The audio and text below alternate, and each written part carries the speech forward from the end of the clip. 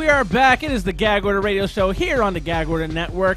In studio is myself, Jay, and alongside me is John Doherty. Still. And still in the booth is Dimitri. Yep. And uh, we have been uh, talking to uh, our guest uh, during the break. It was actually a really fun conversation, conversation that you guys aren't privy to. But uh, we will choose three people, or he will choose three people, however it will happen, and they will have the ability to ask one question each once we are on the next break.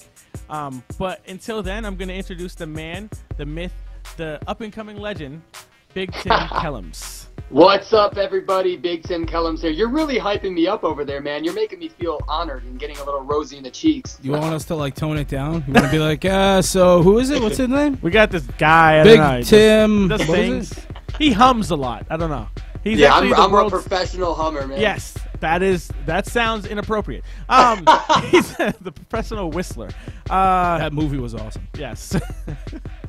but a big Tim, Ke- uh, like, what do you go by? Uh, do we just call you BTK? Isn't that a killer? Okay, Yes. th- this is funny. I'm actually going to give you a little bit of a quick background on this. My original name was Big Tim, and then I would Google myself from time to time, and I was like, yo, there's other Big Tims out there. What can I do to make sure I'm the only Big Tim? So I'm like, you know, let me just add my last name to the mix. So I added my last name. And now I'm Big Tim Kellams, but I don't want to be called BTK because of the whole MGK thing, and it's kind of an inside joke with some people because you know I'm the white rapper, he's the white rapper. But if you want to call me BTK, it's cool. But Big Tim Kellams is the official name as of now. I, I would think that you wouldn't want to be called BTK because there was a serial killer. Yeah. That There was, was- a serial Oh, killer called BTK BTK. serial. Well, that's kind of cool because I'm killing the tracks, man. No, I don't. I don't think you understand what cool is. Uh, BTK killer. Uh, Yeah. yes. Uh, for all of those, if you can hear our voice, you're tuning in. That's how that works. That's how it works. You're you're hearing it. So for all those that are asking, how do I tune in? If you're hearing our voice on the site, you're tuning in. It's happening. So, anyways, Big Tim. Um, Yeah. uh, Listening to your tracks, I did say uh, I was talking to John about you earlier, and I said you have this um, rock meets a bit of hip hop pop swag to what you're doing. He said Linkin Park, and that's exactly like where some of your like your, your style comes from. It's it sounds awesome what I heard.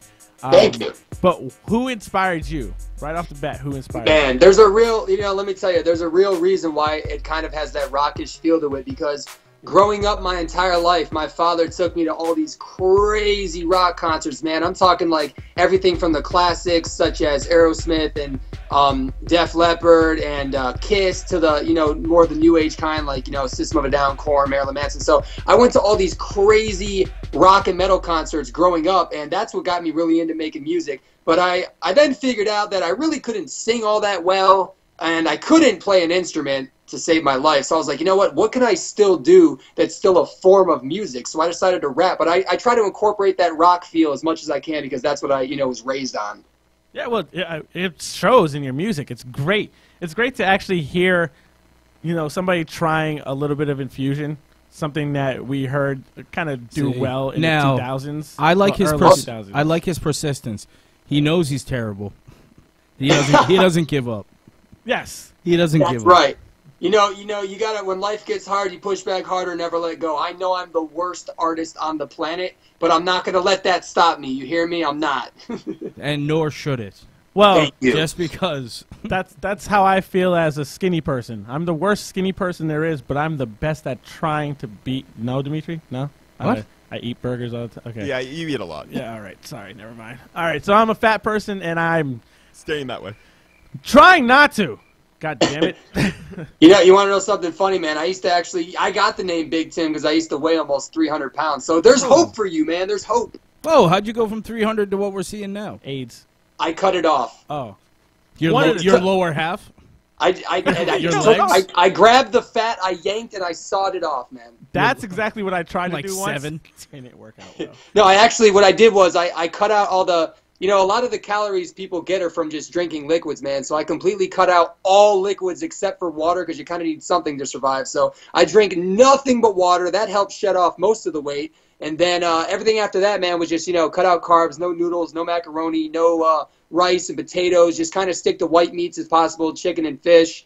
Um, you know, no red meats, no steak, no hamburger, stuff like that. And just time, give time, you know, time, and then everything starts to shed off. Or you could always saw it off as well. nutrition and more with Big T Kellams at five. Um, yeah, no, that's I tried doing that. I shed off. Uh, I shed a lot of weight actually. I was 350, and I shed off. Uh, shed off. I shed a lot of weight. Congrats. When I cut out carbs. So thanks. Yeah. It's just this is my sixth fat, and I don't think I have another like comeback. There's no bounce back after this, so I got to lose this and stay small, like depressing. small. It has to happen. Like You're that. depressing. I, I, it's the truth. I gotta do that. I have to stay small for the sake of my shirts. Um, so, uh, when it, uh, a lot of your fans are wondering, um, places you'll do shows again, the Eugene thing that came up again. Yeah. Um, but w- when you go on stage, what inspires you? What's the spark? Ah man, when I go on stage, what inspires me? I, you know, when I'm up there, man, I used to kind of go into a trance because it was just so just awestrucking to me, and I kind of used to not see anything, and I kind of just went crazy and did it. But now I've trained myself to really hold my composure up there, and what really inspires me and gives it the spark is just the energy and the look on the people's faces. When you first hit that stage or you start doing something amped up and exciting and you could see them really getting into it just like i look for the teeth man. When you can see the teeth and the big smiles and the energy that's what really gets me into it man. That's awesome. Yeah, for us, we usually uh, just ask them not to like stab us. We say, well that too. i mean i crowd surf a lot and one of my fears is like yo what if some crazy person like jabs a knife in my ribs while i'm doing this? Yeah, now that you said it, don't crowd surf. yeah i was just thinking that as i said Yeah, that now so, that yeah. you said it, do not crowd surf. That's just is ill advised from here on out. Just send your shoe, like just let it go. Yeah, I'll get a crowd surf, uh, crowd surfing stunt double. That'll just I'll go off stage for like a half a second. He'll run off with the same outfit as me, and just jump in there, man. And Why not? Hey, come on! There's stunt doubles for everything else. Why not? Exactly, dude. getting Crowd surfing knifed. stunt doubles. Yeah, man. for getting knifed. For getting Yes, my knife double. Uh, I mean, he could wear like a vest or something, like protect them. they they not stabbed me in my better. toes.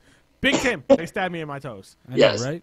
That would, that would be something else. Um, uh, another thing I, I have to ask: What was your biggest performance? Because you've been at this for a while. So, what was your biggest performance?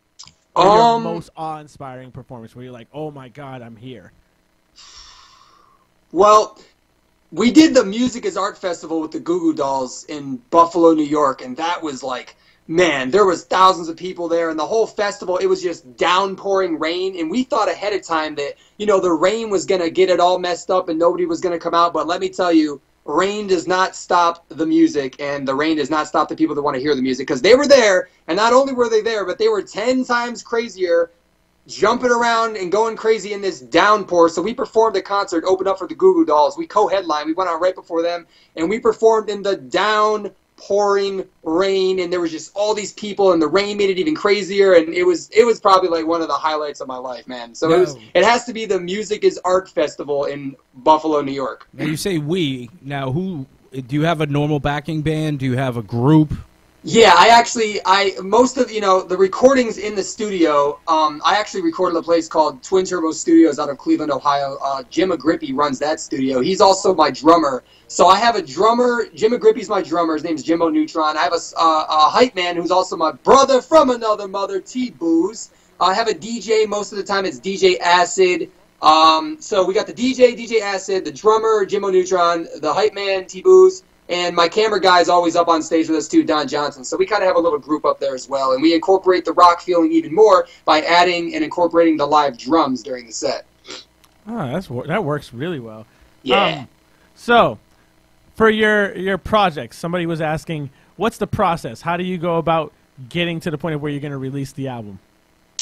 Well, well, there's a okay. Let me think of how to really explain this. Basically, man, I took like a two-year hiatus because I, I basically I started as a musician. You know, I started gaining my fan base as a musician. Then I started really getting into uh, social media and making these rant videos. And when my rant videos really started blowing up, I kind of lost myself as a musician. So basically, right now I have this whole EP on the back burner because I don't want to just put it out right now because I don't want to put something out that I think you know deserves the most notoriety and have it not hit what it needs to because people aren't really into the relevance irrelevancy of my music because I kind of took a hiatus from it for a bit. So basically, right now to amp that up, I've been leaking songs off of the off of the EP, and I got like three music videos I'm going to be putting out just to kind of push music back into their faces and ears in music videos to say, hey, look, remember me? I'm making music. I'm making music again. So it builds the relevancy of the music. So basically, to summarize it, so I'm not mumbling, I'm going to leak some songs. I'm going to put some music videos out, and once you're ready and know that I'm making music, apparently, again, I'm going to put out the EP. Okay. Woo!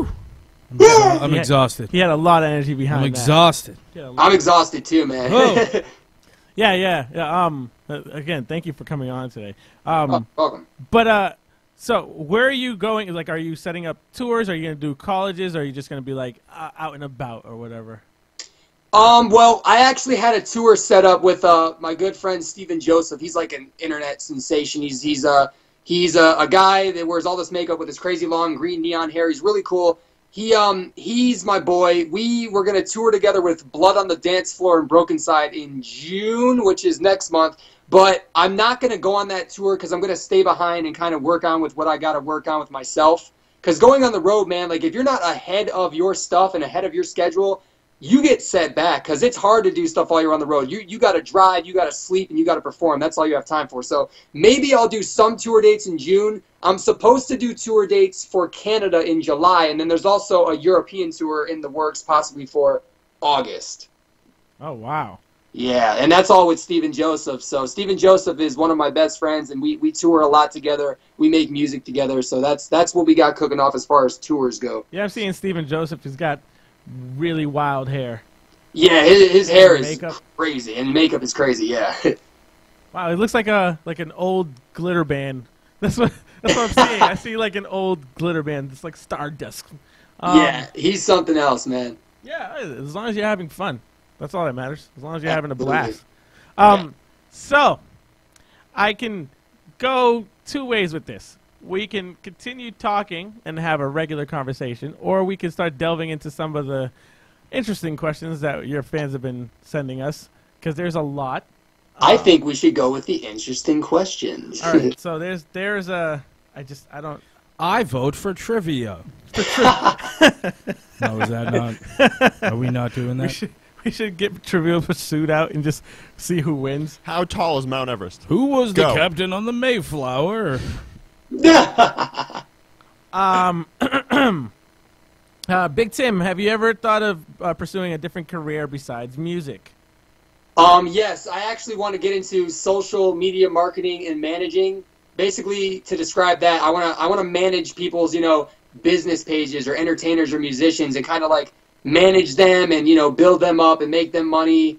And uh, I just I really like social media and marketing because that's you know I have to do that for a living as well, doing what I do. And I think you know I could be on some P Diddy stuff and really like P Diddy the heck out of social media when the time is right, when I'm big enough to be able to you know put the music to the side for a bit and kind of help other people out. You're, you're kind of doing it in reverse. You're like yeah, yeah, yeah. You're an weird. entertainer that wants to do office work. Basically, yeah. It's like Bono saying like his ultimate goal is to be a hedge fund manager. yeah, it's a little weird, man. But I mean, it kind of all it kind of all meshes with the whole social media uh, entertainer slash musician thing as it is, and I got pretty good at it. So I think that I think I could potentially make a lot of money with it in the future, and also just help other people out with it. Um, we got somebody that's uh, uh, that's asking. I'm sorry. Have you ever played World of Warcraft? Um, yeah, wow, uh, wow. We're talking about wow. I actually have played World of Warcraft. I think when I was like 18, like a couple times. I kind of liked it, but I never really got into it. It sounds like drugs. Wow. It sounds like it sounds like a drug experience. It's listen. Pretty I, much. I, I tried tried it a playing couple it. times. It just it was not I- for me. I dabbled with WoW. It gave me a bad trip, so I'm not really into it all like that. You know, at parties, my friends would be doing it, but you know, I just hang out and watch. I tried playing Fable. That didn't work out well. I tried play, all like all of those games. Uh, But then I found heroin, and everything was awesome. heroin, I'm good at playing heroin. That is Really good. awesome. Um, we got one from Loriana. Uh, what is your biggest accomplishment in life? Not just like music, in life. Well, besides trying WoW for the first time, now that we got that out of the way, um, my biggest accomplishment in life, man, is just I just want to be happy, man. Like I know it's like the stupidest, most cliche thing to say, but I, I mean really, man. Like I just want to be able to be happy and wake up happy and go to bed happy and not have to stress about not being happy. Like I want to be happy all the time. I want to just live off of something that I love to do. I want to get up knowing that when I go to quote unquote work, aka whether it's you know going to the computer or, or, or going to a microphone, I want to know that I like doing what I do. I want to own a boat and I want to go fishing whenever I want, and I want to eat good food, man. That's all I want out of life. And I want to be able to travel the world. I want to see the pyramids, man. I want to go to Egypt. I just want to be happy. That's my ultimate goal in life. There's pyramids in I Vegas, so you could take care of that with one of those weird, you know, Or that. sit in a room and listen to somebody sell you something and get a free trip to Vegas thing. um, timeshares. Uh, we got a bunch of people asking when are you and Jas gonna get married? Diana is one of those people, and some other people. Shout out to you, Diana. Um, when are me and Jazz gonna get married? Uh, well, if we do end up going to Vegas to see the pyramids, we'll probably get married in Vegas when we get like really drunk or something.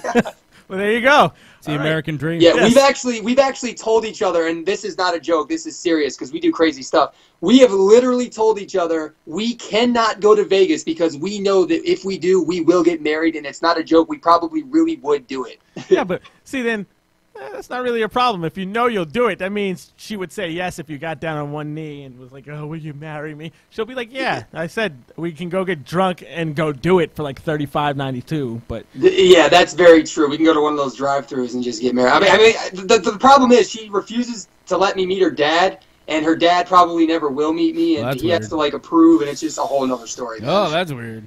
yeah.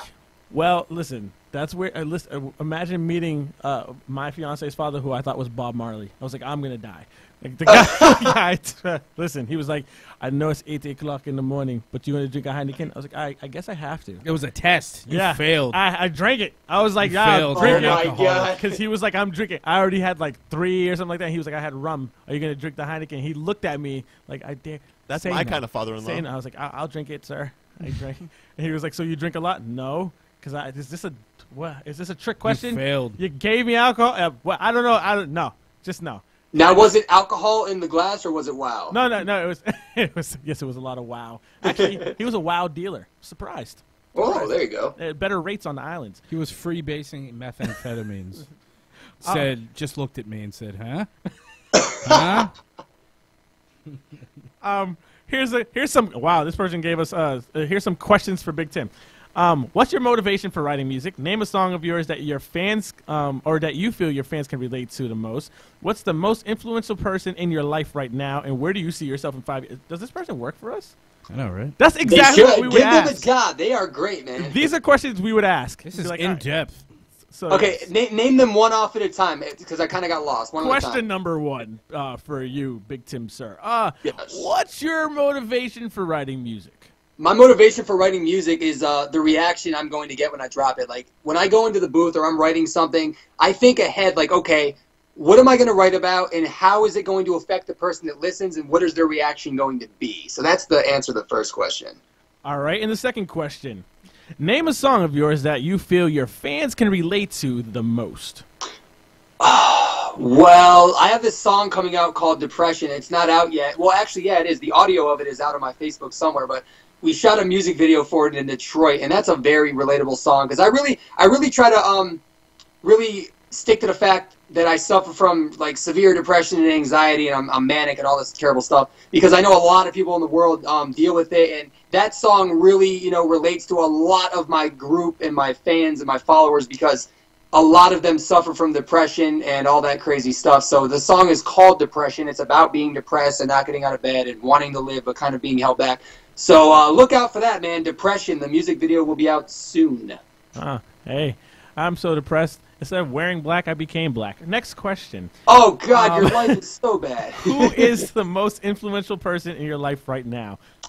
Uh, I would have to say my father, man, because my father was um he was an addict for like half my life, and you know I've seen my dad at his darkest, darkest times, man, and just horrible things I had to witness growing up, and the fact that I literally never thought my dad would beat his addiction, the fact that he beat it and he's now been clean for a while, and he went through the process, and just seeing him go through that and be able to beat that and overcome that really inspires me because you know I get down, I get in those moods like everybody else does, and I think about giving up, and I wonder if this is gonna work. But then I see that he did what he did, and I'm like, yo, this is gonna work. This can happen, you know. That's true. Oh, well, there you go. Instead of it being like you know a musician or something, he was real with that question. Yeah, Tim, is that a towel behind you? Oh yeah, it is. Are you in the bath? Where are you? No, he's he's in his room. You need to clean up, buddy. we need a maid You over need to there. clean up. And uh, the last question is one that we would always ask: Where do you see yourself in five years? Um, I see myself, Married. man, just Save bigger, yourself. more successful, and hopefully a little bit richer, man, and just happier. Save yourself and stay married. Save your skin and stay married. Married. Yeah, there you go. That's a good goal. Married, locked in, and Wow. living up the dream. That was him, all by himself, just married. You hear that? Married. Wow, committed man here. Working at a nice 40 hour a week, 9 to 5. Yes, That's where I see as myself, the manager man. of the local Staples. Some decent bennies. Nice 401k. Rap every other weekend with with my uh, weekend Maybe- warriors. Maybe farmer's market on Sundays. That is awesome. That is exactly where I see myself, man. He he purposefully falls away from the limelight. He'll get famous, really huge, and he'll be like, like, where are they now? Tim manages his local Walmart. It's just like, Tim bought a Subway in Ann Arbor. yeah, exactly. Just completely out of the world, like obscure thing to do. He's just gone. That'd be great, actually. You just I'd rap go for out with a bang, man. you- Hey, people that know you, you'd rap for them when they're ordering their sub. You like rap their sub back to them.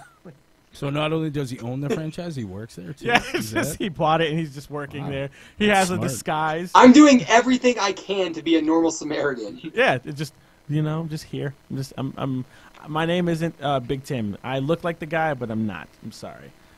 Who is who's this? What is the reason for doing what you do? Is this Nikki again? Oh jeez. Shout out to you, Nikki, for asking such amazing, awesome, and many of questions. Uh uh so yeah, I want to say this really quick. Um uh, uh can you ask Big Tim what inspired him uh, to become a rapper? I love him. And it's followed up with, "This is his girlfriend Jasmine. Tell him he better see himself married before five years." Oh my god! so Oh, that's weird. what was the question she asked again? I wonder if it's if it's really her. That's weird. Yeah, if it's not her, it's even weirder. yeah, it's just like, uh, there's another Jasmine that I wouldn't put it past anything posing. at this moment in time, man. um, uh, the first question was, can you ask Big Tim what uh, inspired him to become a rapper? And then I love him. I love her too. Um, what inspired me to become a rapper? Um, oh, sorry. Basically, like I said, man, those all those rock and metal concerts I went to growing up with my father, man, just being at the concerts and being so young and you know, when you're that young and you're in an environment like that and you got like a stadium with thousands of people and we used to sit real close, man, so we were right there and just the pure energy, man, like I loved it and I wanted to do it, man. So that's what got me involved in that and wanting to do that. all right, so um, we're getting ready to wrap up. There's uh, someone wanted to just show you some love from Cleveland. Keep pushing and always remain humble. You're doing great. We're proud of you, Heather, the Honey Badger, and Jimbo Neutron. I've been oh, Cleveland. shouts out to them. That's yeah, that's Jimbo and his crew, man. That's my drummer and his crew, man. I've been to Cleveland, nice little city. Yeah, Cleveland's pretty nice. It's it's it's it, Cleveland is uh I think was built by the same people that built Buffalo, which is originally where I lived for like 13 years, and they look similar, but I think Cleveland's like a little bit cleaner than Buffalo.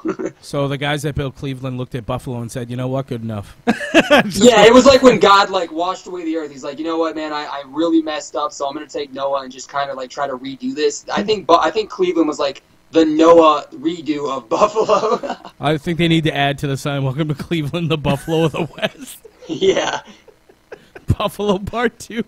Yeah, we tried again, guys. We failed. Buffalo 2.0. Pretty Better? much, man. Question mark. Like, oh, this time it's personal. this time, yeah, exactly. It just sounds like horrible sequels. Hashtag We chose this. Yes. Um, love from Osesso. I don't know where this is. Um, yeah, and it's oh, it says this is really Jasmine. Haha. Just to kind of make sure that you know she's not messing around. Something Hi, about Jasmine. How are you? something about chestnuts in a vice grip, um, ball gags, What? and Yeah. Oh, she was trying to be undercover at first. That's the. This is the wrong show for that. Right? I just- am I not supposed to be reading these out loud, Jasmine? Because I'm just gonna keep reading everything you send us. You might as well just keep it going now, man. Jasmine, no swearing though. We could talk about ball gags, but no swearing. Just. He's like, I'm all into that. I've been trying to break the ice on that if subject you for a saw while. some of the stuff in Jasmine's drawer, man, you would you would know what, what we're really talking about. I'm now gonna get a subpoena through this. this is gonna be like, I'm now suing you guys. Uh, yeah, Jasmine, you can go through the tool shed, just no dirty words. just exactly. Uh, No F bombs. No f bombs at all.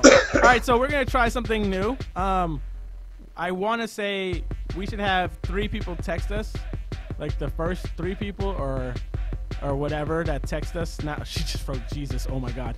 Um, Nah. your girlfriend is traumatized. This is this is good for us. This is great. This is what we wanted. Yeah. And she wrote in hi. She's really slow at typing. You may want to look into that.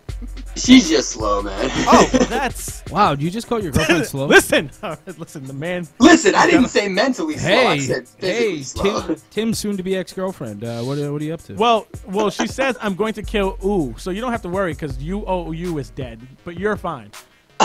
so whoever that is, um, the people at the car wash are listening while I'm vacuuming, laughing my ass off. This is great. That's Um, a lot of detail. We're at a car wash. That's about it. yeah, is, that's is it like a, is it a car wash as in like an actual It's like I'm wash? there. it's. I feel the It's like suds I'm now. there. It's like I'm, I can hear it. They're vacuuming right now. I feel the suds now. All right, so this is what we're gonna do. We're gonna choose three people. The first three people that um, text us, uh, I guess, or, or text us. Call me is what you should text us. And the first three people that we see, um, we will call during the break, and you get to ask Tim one question. Um, and well, tell people where they can hear your music, and tell them what's coming up next because we're wrapping up with you now. Awesome, man. Yeah, you can hear all of my newest music at my uh, website. It's bigtimkellams.com, B-I-G-T-I-M. K-E-L-L-A-M-S, bigtimkellams.com. You could uh, like me on Facebook. It's uh, Big Tim Kellams. You can go to facebook.com slash Big Tim Official. My Twitter is very easy. It's twitter.com slash Big Tim. I do follow everybody back, so hit that follow button. I'll follow you back instantaneously. My YouTube is youtube.com slash official Big Tim. Uh, my Snapchat is Big Tim underscore no morals. And my Instagram is Big Tim Kellams. I think that covers pretty much everything.